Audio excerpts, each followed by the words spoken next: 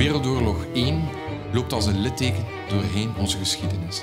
Van de ene dag op de andere dag valt het dagelijks leven stil en niets is nog zoals het ervoor was.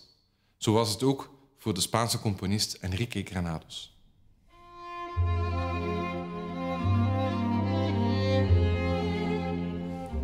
Op weg naar huis vanuit de Verenigde Staten naar Europa wordt het passagiersschip getorpedeerd.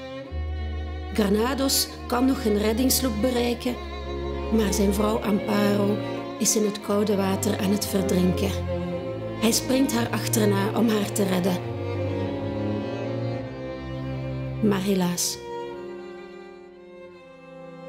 ze verdrinken allebei.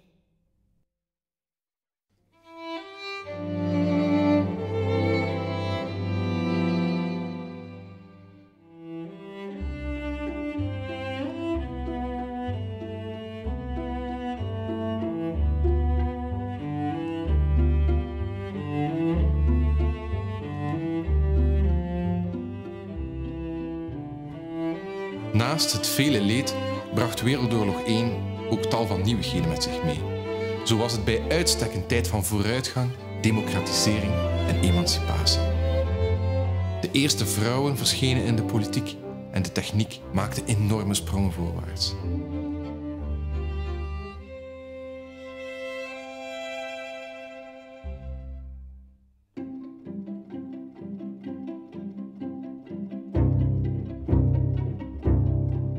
Sommige nieuwigheden uit die tijd kennen we nu nog.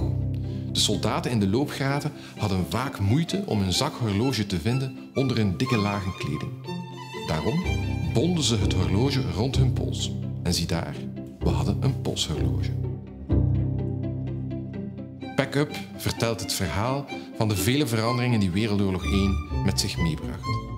Het verhaal van de gewone mensen hier bij ons en dat van buitengewone componisten uit heel Europa. Na deze oorlog kon de wereld nooit meer dezelfde zijn.